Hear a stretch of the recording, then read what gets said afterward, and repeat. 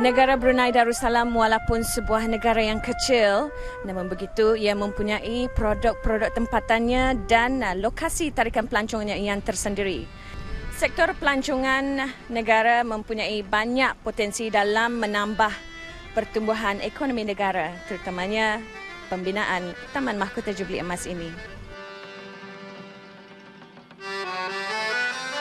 Dalam usaha kerajaan untuk mempromosikan negara Brunei Darussalam sebagai destinasi pelancongan, Taman Mahkota Jubli Emas dibuka secara rasmi kepada umum di Ibu Negara Bandar Seri Begawan bersempena sambutan Hari Jubli Emas ke bawah Duli Yang Maha Mulia Perdana Seri Baginda Sultan Haji Hassan Bolkiah Izzuddin Wad Daulah Sultan dan Yang di-Pertuan Negara Brunei Darussalam. Taman yang seluasnya 12 hektar ini dahulunya dinamakan Eko Koridor Sungai Kedayan.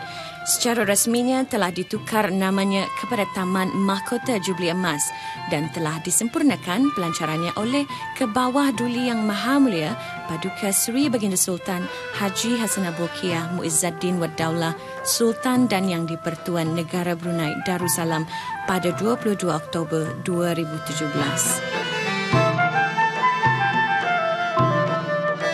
Dengan terbinanya sebuah taman mahkota Jubli Emas ini menunjukkan satu lagi mercu kecemerlangan pembangunan negara yang dicapai melalui kepimpinan ke bawah duli yang maha mulia Paduka Seri Baginda Sultan dan yang di-Pertuan Negara Brunei Darussalam dalam masa lima dekad pemerintahan Baginda.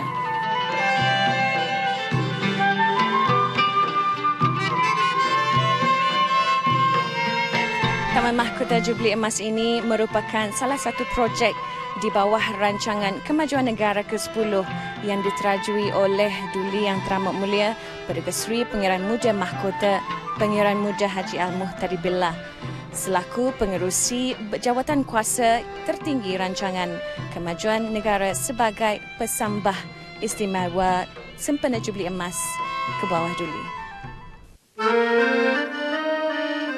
Pembinaan Taman Mahkota Jubli Emas ini sekaligus memperbaiki dan menaik taraf sistem sungai-sungai termasuk Sungai Kedayan, mencantikkan persekitaran Masjid Sultan Umar Ali Saifuddin serta menyediakan kemudahan beriadah kepada para pengunjung serta pelancong asing ke Bandar Seri Begawan.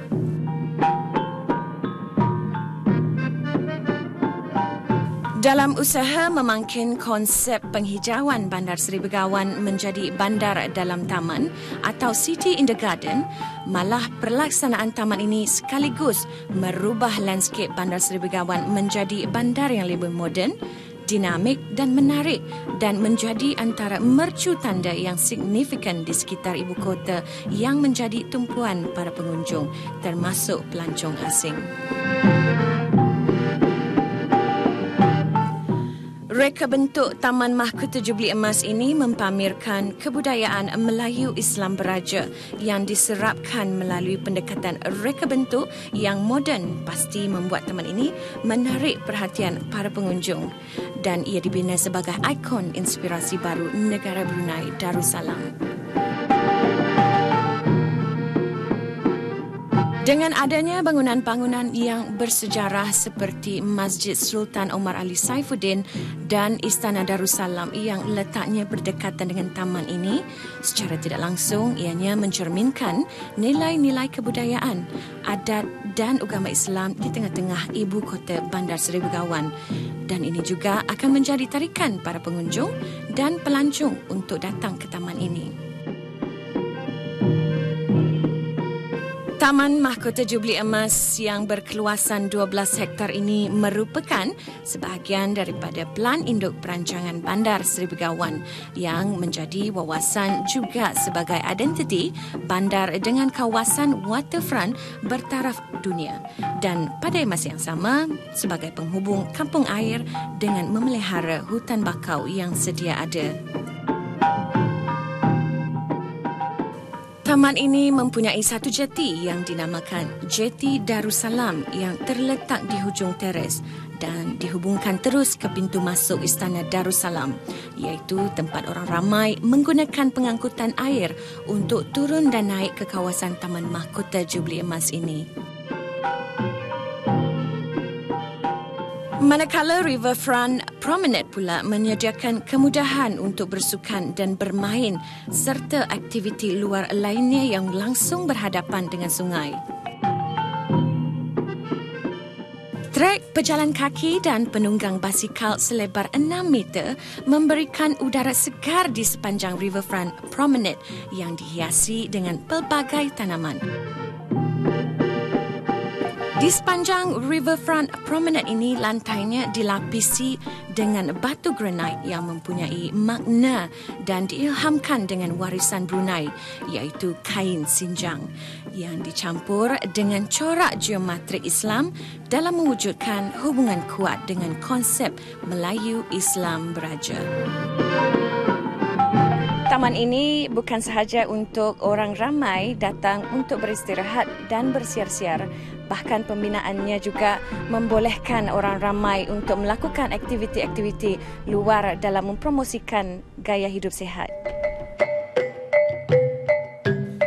Entrance atau pintu utama taman ini merupakan sebuah jalan bersebelahan dengan Masjid Sultan Omar Ali Saifuddin yang direka khusus untuk kegunaan majlis perarakan. Ciri utama di sepanjang jalan adalah barisan air pancut yang berfungsi sebagai penyataan pintu masuk yang dihiasi dengan pokok Copernisia alba di kedua belah jalan. Taman ini juga terdapat reka bentuk keris yang ikonik berdekatan air pancut yang berlatar belakangkan Masjid Sultan Omar Ali Saifuddin dan memberikan maklumat seperti peta taman dan sejarah masjid untuk pengetahuan para pengunjung. Ianya direka bentuk berdasarkan bendera negara serta warna-warna yang mencerminkan kesan tiga dimensi kotak yang menjadikan identiti Brunei lebih jelas. Sementara itu, jambatan pejalan kaki Masjid Sultan Omar Ali Saifuddin berfungsi sebagai karya di kawasan ini yang melambangkan hubungan di antara masa lalu, sekarang dan hadapan Brunei. Bulan sabit di tengah-tengah jambatan ini melambangkan Islam menyatu sempurna dengan suasana taman untuk mewujudkan mercu tanda bandar baharu. Jambatan dengan bulan sabitnya akan diterangi lampu di malam hari bukan sahaja berfungsi sebagai ciri ikonik tetapi lebih kepada satu perjalanan spesial di mana pengunjung dapat berjalan-jalan melihat keindahan Sungai Kedayan dari kedua belah hujung jambatan. Inspirasi taman ini adalah warisan Brunei iaitu air mulih yang diterapkan di pelan taman ini agar dapat memberikan pengalaman ciri-ciri reka bentuk ketika berjalan-jalan di sekitar Taman Mahkota Jubli Emas ini. Terdapat dinding sejarah di kedua sayap taman ini untuk mengingati sejarah dan penduduk asli kampung air dengan memaparkan latar belakang bagaimana kampung masing-masing dinamakan dengan harapan akan dapat memotivasikan orang ramai untuk menghargai tradisi dan kebudayaan Brunei. Kemudahan yang disediakan di Taman Mahkota Jubli Emas ini seperti tempat duduk, tong-tong sampah, tandas awam di samping trek pejalan kaki dan penunggang basikal yang dikelilingi dengan pelbagai tanaman dan pokok-pokok yang unik.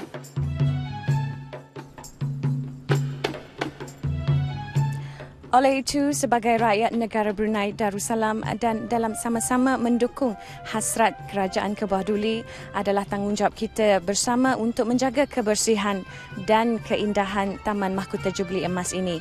Untuk terus kekal dengan keadaan persekitarannya yang bersih dan sedap mata memandang oleh para pengunjung yang datang. Penglibatan kita sebagai rakyat Brunei Darussalam dalam menitik beratkan kepentingan kebersihan dan sentiasa menjaga kebaikan Taman Mahkota Jubli Emas ini agar tidak disalahgunakan untuk perkara-perkara yang tidak diingini kerana Taman Mahkota Jubli Emas ini mencerminkan secara konsep akan pentingnya kita menghargai masa dengan amalan yang benar.